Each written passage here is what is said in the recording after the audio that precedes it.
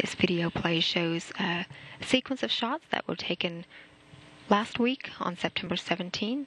They were uh, from this pass across the uh, south of Madagascar, just to the north of Australia, over the Indian Ocean.